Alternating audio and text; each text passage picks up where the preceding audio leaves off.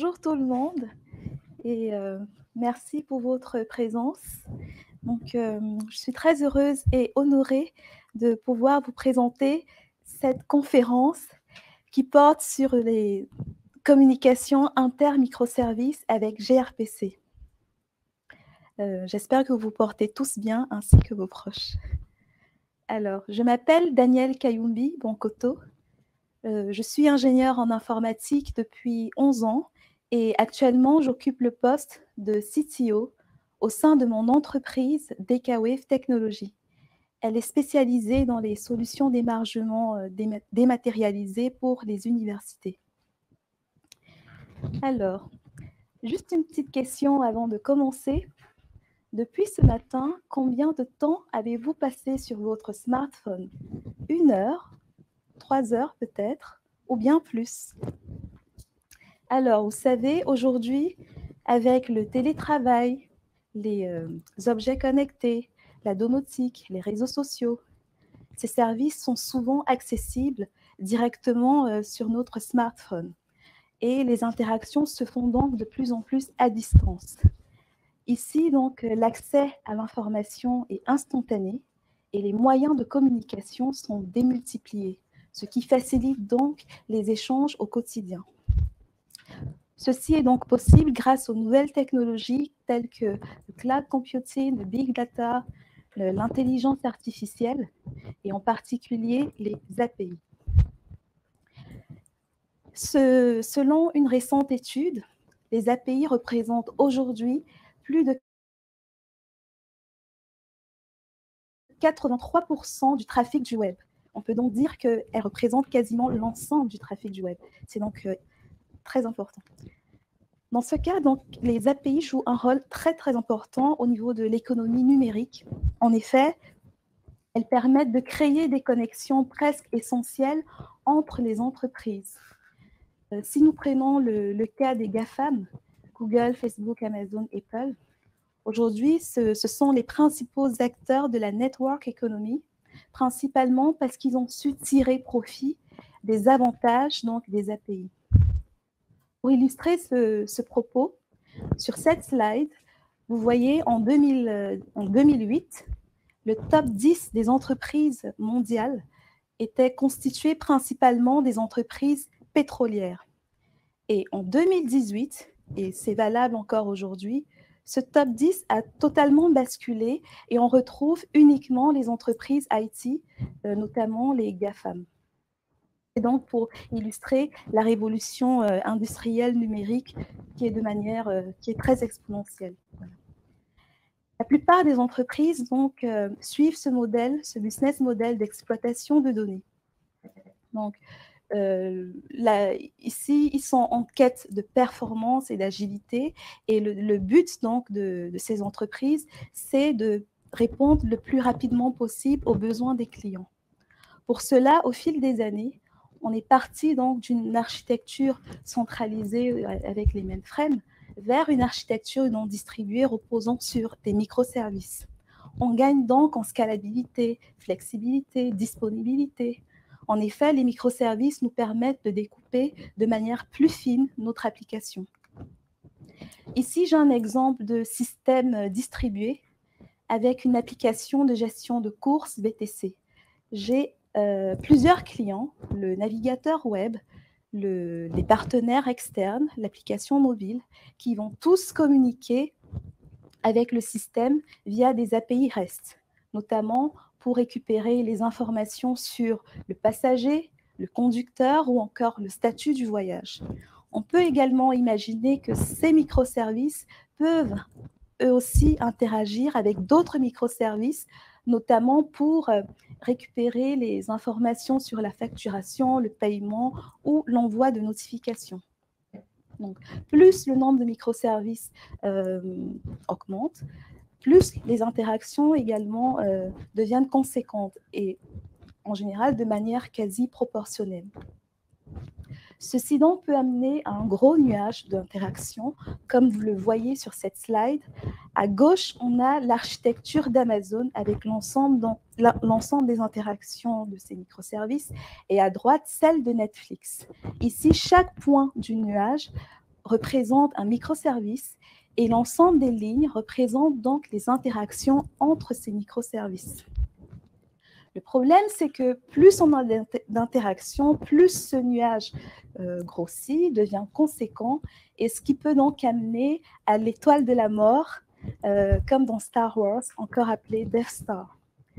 Le problème, c'est que si un microservice a un problème de latence, alors l'ensemble du système peut en être impacté. Nous voyons donc que la performance est un enjeu très important pour garantir un système optimal. Alors, je vais prendre juste l'exemple de Netflix. Aujourd'hui, euh, il arrive à répondre en quelques secondes à ses 200 millions d'abonnés euh, via ces 700 microservices. C'est incroyable, c'est une performance euh, magnifique. Et donc, le problème ou la problématique, c'est de savoir comment on peut faire pour arriver à cet objectif. Donc, en termes de design d'API, quels sont les styles architecturaux qui vont nous permettre de répondre à cette problématique de performance? Donc, le but, c'est de réduire le temps de transfert des données sur le réseau et également de réduire le coût du parsing, notamment en termes de sérialisation et de désérialisation. Pour cela, nous avons donc deux styles architecturaux très populaires, euh, REST et GraphQL. Commençons donc par REST. REST, euh, nous l'implémentons tous dans nos applications. Il est très populaire. Il n'est plus à présenter. Il a été introduit en 2000 par Roy Fielding. Il est euh, supporté par la plupart des frameworks et des plateformes. Cependant, reste euh, à quelques limites, notamment sur la performance. Vous savez, une API REST retourne donc la ressource, la représentation de la ressource au client. on a toujours une structure fixe des données. Le résultat n'est pas prédictif. Donc, ça signifie que le client ne peut pas euh, requêter les données dont il a besoin. Ce qui peut donc induire à de l'overfetching ou de l'underfetching. Overfetching, pour rappel, c'est lorsque le serveur retourne plus de résultats que nécessaire. Et l'underfetching, c'est lorsqu'il en retourne moins. Et dans ce cas, on est souvent amené à faire plus de requêtes, des requêtes supplémentaires pour euh, obtenir le résultat final. En plus de cela, on a également euh, le problème de la transmission des données sur le réseau. En général, avec REST, on sérialise des, messages au format JSON. Donc, le problème, c'est que si la taille, du, message est conséquente, le message prendra plus de temps à être transféré. On peut avoir des goulots d'étranglement et en plus, le coût de sérialisation et de désérialisation n'est pas négligeable parce que ces opérations sont souvent assez gourmandes en termes d'utilisation de, ressources euh, processeurs. Alors, au vu donc de ces limites, est-ce que GraphQL est plus adapté que REST? Euh, pour rappel, GraphQL, c'est donc un langage de requête pour les API publié en 2015 par Google. L'avantage, c'est qu'il permet d'avoir des résultats prédictifs. Donc ici, le, client va euh, requêter, euh, les données, uniquement les données dont il a besoin. Rien de plus, rien de moins. Si on compare donc à REST, dans le cas de l'overfetching, non, de l'underfetching, le client n'aura plus besoin d'effectuer N requêtes pour obtenir son résultat. Mais malgré cela, le problème de transfert demeure. C'est-à-dire que on aura toujours des, problèmes au niveau du temps de, transfert du message. On peut avoir des goulots d'étranglement, comme on l'a vu. Il faut résoudre cette problématique pour optimiser donc euh, la latence du système. Alors, au vu donc de cette analyse, est-ce qu'il existe une solution qui permette de répondre à cette problématique? Oui, elle existe, elle existe bien. Il s'agit de GRPC pour Google Procedure Remote Call.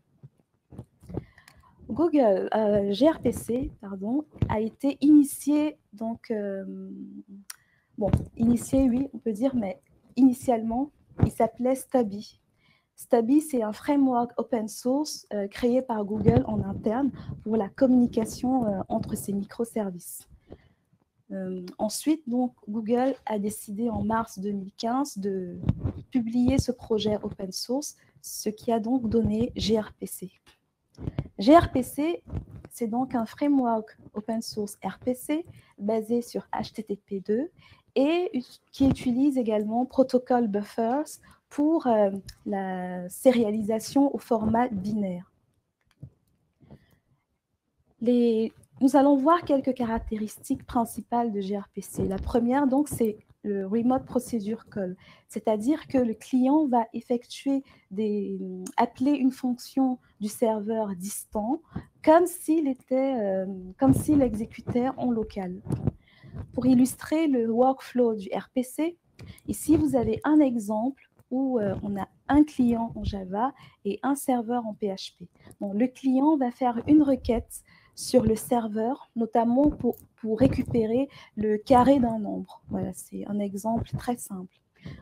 le client va donc euh, transmettre les paramètres au serveur en passant par un stub. Un stub, c'est une procédure locale qui permet de faire dans la sérialisation ou de la désérialisation. Ensuite, donc, le message encodé est transféré au serveur en passant donc par euh, un protocole de, de transfert, enfin, en passant par un protocole tel que HTTP, protocole de transport tel que HTTP. Le résultat est ensuite récupéré par le serveur, pas le résultat, mais le message encodé récupéré par le serveur qui le désérialise. La requête est traitée et le résultat est retourné au client dans le sens inverse. Et là, le, le stub du client désérialise le résultat et le retourne au client de manière transparente.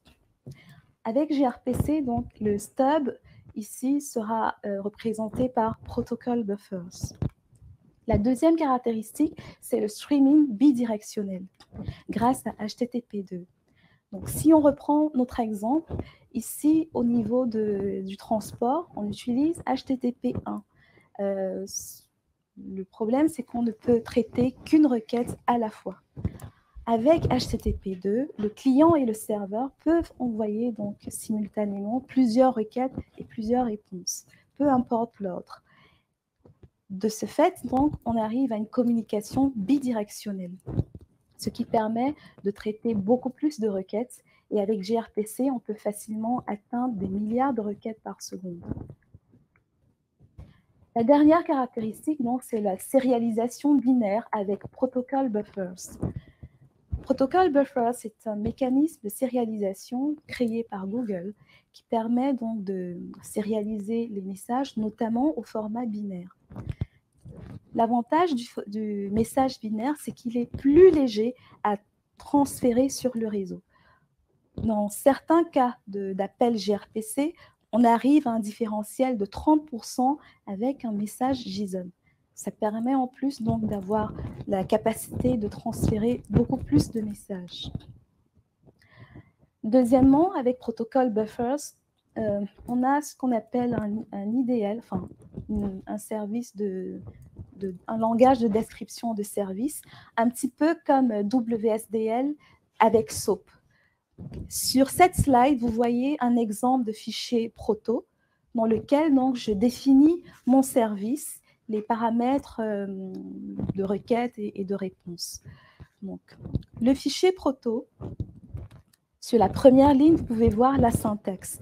La syntaxe, on précise dans Proto 3 pour indiquer à protocole buffer de générer les classes correspondantes à ce service et à ses paramètres euh, en langage PHP, parce qu'il supporte plusieurs langages. Sur la deuxième ligne, on définit le package euh, qui va nous permettre de rajouter automatiquement le namespace dans le fichier généré. Et l'option ici, PHP Generic Services, permet de créer une interface plutôt qu'une classe finale, notamment pour notre service. Ici, donc, on définit le service proprement dit qui contient une méthode getSpeaker et qui prend en paramètre une instance de speaker request et qui nous retourne un speaker reply. Donc, juste pour définir le contexte, dans ce fichier, en fait, je définis euh, un service qui me permet donc de gérer euh, des speakers. Donc, pour le, get pour le speaker request et speaker reply, on définit les attributs et vous pouvez remarquer euh, l'affectation de valeur. En fait, ce n'est pas la valeur de l'attribut, mais plutôt le tag qui permettra d'identifier de manière unique le, le champ dans la sérialisation par protocole buffer. Une fois donc le proto défini, on génère les classes via le compiler. Et ici, vous avez un exemple de classe générée, notamment l'interface qui correspond à notre service et qui contient bien la méthode getSpeaker. Et puis, on remarque aussi la présence du namespace. Cette interface sera implémentée par notre service proprement dit. Et en fait, ensuite, on a le speaker request qui est une classe euh, toujours autogénérée et qui contient donc les attributs, le constructeur, le getter, le setter, tous autogénérés. L'avantage ici, c'est qu'on euh, va se focaliser vraiment sur le, comment dire, le cœur du, du, le service qui va faire le, la requête en base de données ou des appels, d'autres appels à d'autres microservices. On ne gère pas tout ce qui est définition des classes, sérialisation. En protocole buffers le fait à notre place. OK. Maintenant, nous avons vu un peu les fondamentaux de gRPC et euh, il sera intéressant de voir comment nous, pourrons, nous pouvons l'implémenter euh, dans notre projet PHP. Euh, Alors, la première chose à faire pour pouvoir profiter donc, de gRPC dans, un projet PHP, c'est d'installer l'extension C gRPC donc pour PHP. elle est compatible à partir de la version 7.0 vous avez également le package PHP, mais moi, je vous conseille d'utiliser l'extension, vu qu'elle est de bas niveau, pour profiter de la vitesse d'exécution. Ensuite, il vous faut définir, donc, installer la librairie via Composer, euh, Protocol Buffers dans votre projet. vous pourrez voir ce GitHub, le code source, pour euh, visualiser un peu les, les différentes méthodes de sérialisation. Et enfin, pas enfin, ensuite, on va définir notre fichier proto. Euh, comme nous l'avons vu précédemment, on définit le service, les requêtes, la, réponse. Et une fois cela fait, on va donc exécuter la, commande, le compiler qui va générer donc les classes euh, correspondantes à cette, euh, à cette définition. Donc, comme nous l'avons vu, on a l'interface, on a le, la requête, on a également la réponse. Ensuite, il faut, côté serveur, créer le service qui va donc implémenter euh, l'interface et faire donc euh, les, récupérer les données et, retourner, euh, et retourner au client. Ici, vous avez donc le service du serveur qui implémente l'interface et on voit qu'il définit bien la fonction getSpeaker en prenant en paramètre speaker request. Ici, euh, à partir du speaker request, on récupère l'ID du speaker, on fait la recherche en base de données, en instancie un speaker reply, on le populate et on retourne donc euh, cette instance. Et côté client, on va faire à peu près la même chose. On crée donc une fonction qui prend en paramètre donc le speaker request, qui va faire l'appel au serveur et retourner le résultat, en fait, comme si on était resté euh, sur la même machine. Et enfin, donc, on peut tester la requête et, voilà, et profiter donc des performances de gRPC. OK.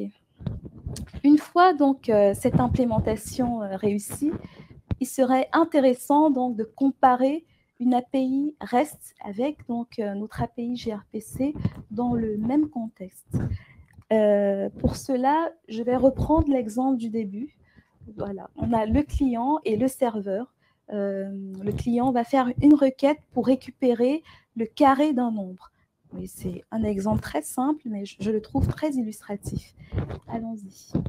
Le contexte du test de charge, c'est de pouvoir consommer le maximum de requêtes. On va définir, enfin, le but, c'est d'avoir 1000 requêtes sur une période d'une minute avec 100 euh, utilisateurs ou virtual users en parallèle et le serveur et le client sont exécutés, tournent sur la même machine. Le test de charge donne, euh, euh, les résultats suivants. Premièrement, on a le temps de réponse. On voit bien que gRPC associé à HTTP2 permet d'avoir des temps de réponse beaucoup plus, euh, euh, comment dire, beaucoup plus performants, oui, des temps de réponse plus bas, voilà, que ceux de que l'API euh, exposé, enfin défini en reste. ici, par exemple, on a 90% d'utilisateurs qui ont un temps de réponse dans ce contexte de test de charge à peu près à une seconde, tandis que l'API REST nous retourne des, des temps de réponse à 6 secondes. Au niveau du débit, on voit bien que gRPC euh, avec HTTP2 permet de traiter plus de requêtes, dix fois plus de requêtes que euh, l'API REST. Ça montre donc à peu près les performances donc, euh, de ce framework. Certes, cet exemple est assez simple, mais ces résultats sont également valables pour une architecture assez complexe. On le verra tout à l'heure. Alors, les forces de gRPC, on a bien le fait qu'il soit open source, vous pouvez contribuer au projet afin de l'améliorer. Vous avez donc la performance, euh, la haute performance, notamment grâce au streaming bidirectionnel. On arrive donc à, manipuler des messages plus légers, notamment avec la sérialisation binaire. Et on a euh, l'interopérabilité notamment parce qu'il est agnostique du langage de programmation, euh, de, la, de, la, plateforme, de l'environnement. Cependant, on a quelques limites, notamment sur l'implémentation PHP. Euh, premièrement, les champs, dans certains cas, ne sont pas euh, systématiquement traités par le garbage collector, notamment en termes dans le cas d'un cycle reference. Ensuite, euh, avec l'extension C, on n'a pas les messages de debug dans les logs. ça peut être problématique, mais euh, ce n'est pas très bloquant. Et puis, la machine HHVM n'a pas été testée avec l'extension C. Cependant, euh, toutefois, voilà, il faut pas, il faut pas appréhender de faire une migration en gRPC au vu de ses limites, parce qu'il reste comme ses forces reste quand même euh, assez conséquente. Euh, en plus de cela, on a une communauté assez forte, réactive. La documentation est régulièrement mise à jour. Et on a des releases toutes les six semaines avec une visibilité sur un an. Alors maintenant, nous allons voir un exemple de, projet populaire qui implémente gRPC qui a implémenté gRPC. C'est donc l'exemple de Netflix, notamment avec la partie euh, Netflix Play API.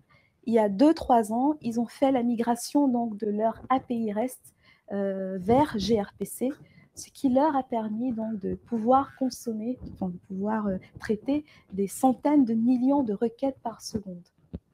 Alors, comment, pourquoi En fait, le but, c'était de d'améliorer la latence et la productivité des développeurs.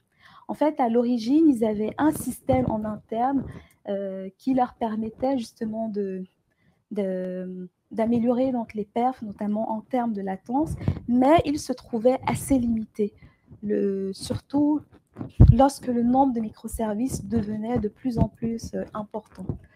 Donc, ici, vous avez l'illustration de leur architecture précédente, on a plusieurs devices qui vont se connecter au proxy qui va, qui va lui interagir avec les microservices. Donc, très simple. Et donc, qu'est-ce que Tim Borzoff nous dit? Euh, Tim Borzoff, c'est le directeur de la plateforme engineering chez Netflix.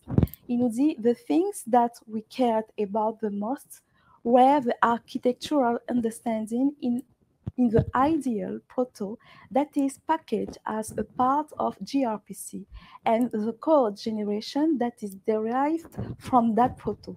Donc, en gros, la génération de code euh, apportée par gRPC, en plus de la performance, était également un point euh, qui a joué dans le choix de technologie lors de leur migration. Donc, au final, qu'est-ce qui s'est passé? Ils ont découpé un peu plus finement leur système. On a beaucoup, enfin, des microservices euh, par domaine fonctionnel. Et ils profitent du streaming bidirectionnel ce qui permet donc de traiter beaucoup, beaucoup plus de requêtes. Et donc, après cette migration, Tim Bozard, qu'est-ce qu'il nous dit? We've seen an incredible reduction for gRPC-oriented services. Pour 99% des utilisateurs, ils ont eu un temps, enfin une latence drastiquement réduite. Et donc, euh, grâce à gRPC. Et euh, l'un de leurs seniors développeurs, du point de vue de développeur, euh, disait que le fait d'avoir adopté gRPC les a confortés dans, leur choix de solution, puisqu'aujourd'hui, il est largement utilisé dans plusieurs projets. D'autres projets également utilisent, enfin, implémentent gRPC, Google, puisqu'il a créé Cisco, CoreOS. En France, on a la Marketplace VP et également dans mon entreprise DKWeb Technologies, nous l'avons implémenté notamment pour la communication entre la brique fonctionnelle des étudiants et des absences justifiées. Et ben je, personnellement, je vous le recommande. Cependant, il faut faire attention parce que la migration gRPC dans votre projet va dépendre de vos objectifs. En effet, vous pouvez avoir des attentes sur la latence, la scalabilité, euh, l'observabilité, euh, la simplicité, la productivité. Voilà. Tout va un peu dépendre de, vos objectifs. En général, pour définir les objectifs, on se base sur les services level pour définir les engagements qu'on va prendre auprès du métier, les objectifs pour les atteindre et les métriques qu'on va mettre en place pour mesurer ces objectifs. Imaginons que votre SLO soit le suivant. 99% des requêtes doivent être traitées en moins de 100 millisecondes. OK, au bout d'un certain moment, on remarque qu'on arrive à une limite, on n'arrive plus à respecter ce contrat de 100 millisecondes. Alors, peut-être qu'on a optimisé le microservice, on a fait tous les efforts possibles. Quelles peuvent donc être les, euh, les causes, les raisons possibles? Premièrement, peut-être le nombre d'utilisateurs maximum a été atteint. C'est plutôt une bonne chose parce que ça prouve que votre application a du succès. Bon, cependant, la, charge ne tient pas. On peut avoir des problèmes d'infrastructure, l'infrastructure qui n'est pas scale up, notamment sur le nombre d'instances, le, CPU. Voilà, c'est une piste. On peut avoir également la perte de données au niveau de la transmission des messages entre les microservices. Et là, donc, gRPC va jouer un très grand rôle.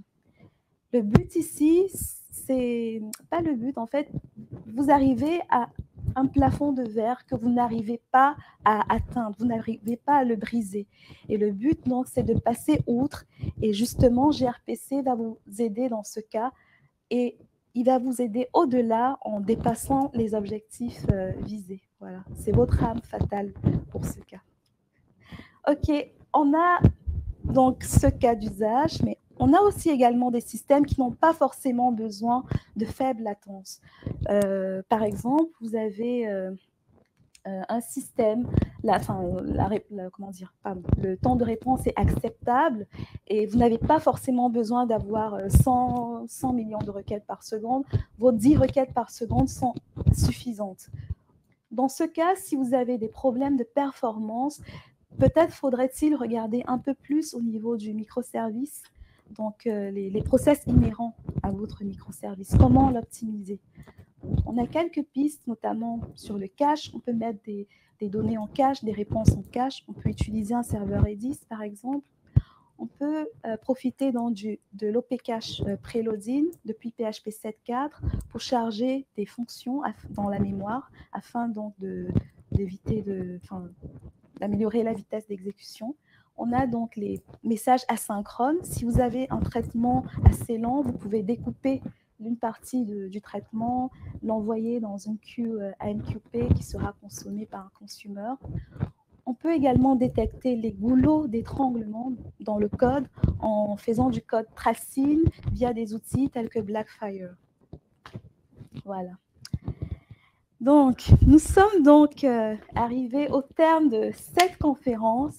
Euh, J'espère vous avoir donné des éléments essentiels qui vous permettront de faire de la migration gRPC dans vos projets ou bien de, de l'implémenter. Et pour ceux qui l'ont déjà utilisé. Donc, j'espère vous avoir apporté de, la matière pour consolider un peu plus vos connaissances. Donc, les exemples de code que je vous ai euh, illustrés, que je vous ai présentés, sont disponibles sur mon repository euh, GitHub. Vous pouvez voir. Et voilà, je serai ravie de répondre à vos questions et d'échanger avec vous en, cas de, questions. Donc, merci infiniment. Euh, de ma, pour votre attention. Merci à la FUP. Euh, merci à Frédéric. merci aussi à mon mari et mon fils aîné qui sont présents aujourd'hui. Et voilà, je suis très contente et j'espère que vous avez aimé. Voilà. Merci. Euh, tu peux rester là. Quelqu'un a posé une question, on dit, sans troller, pourquoi REST est plus populaire que gRPC Est-ce qu'on peut répondre euh, pourquoi REST est plus populaire que gRPC Et eh bien Déjà, REST a été introduit, comme je l'ai dit, en 2000. Bon, il est beaucoup plus, euh, plus ancien. gRPC, on ne va pas dire qu'il est récent, mais il commence à faire, se faire de la place dans l'écosystème. Et puis, REST, c'est quand même un style architectural très bien conçu, très simple, qui du coup, qui, qui est implémenté euh, facilement par tout le monde. Malheureusement, enfin, cependant, la plupart des implémentations ne sont pas RESTful parce qu'elles ne respectent pas vraiment les contraintes de, elles ne respectent pas les contraintes architecturales de REST. il faut juste euh, ne pas oublier, lorsqu'on fait du REST, il faut respecter par exemple le, euh, oh, j'ai oublié bref, il faut respecter voilà, l'implémentation de l'hypermédia, la ressource unique, et en général, on ne le fait pas systématiquement, et on ne peut pas toujours dire qu'on est restful. Voilà. Donc, euh, gRPC vient en complément, dans certains cas, comme je l'ai expliqué, et je pense qu'il fera sa place dans les années à venir. Damien posait la question, pouvons-nous utiliser l'Open API pour faire de la documentation? Alors, merci pour la Oh, euh, super, merci, merci. Euh, avec REST, justement, on n'a pas besoin de, faire de, la documentation OpenAPI parce que les, fonctions sont déjà définies euh, dans le service proto. Après, je n'ai pas euh, creusé le sujet. C'est possible peut-être de faire de la doc OpenAPI, mais le, fichier de description euh, est assez suffisant déjà pour comprendre la liste des opérations euh, disponibles pour, voilà, pour vos appels, pour vos requêtes API. Très bien. Il n'y a pas d'autres questions pour l'instant. OK. Merci beaucoup, Daniel. Merci. Bye.